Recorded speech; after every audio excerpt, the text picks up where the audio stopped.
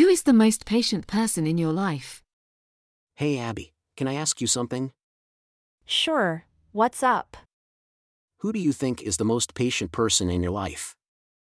Hmm, that's a tough one. I would have to say my mom. She's always patient with me and my siblings, even when we're being difficult. That's a good answer. For me, it's probably my dad.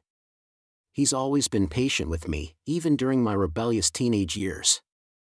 Yeah, parents have to be pretty patient with us, don't they? Definitely.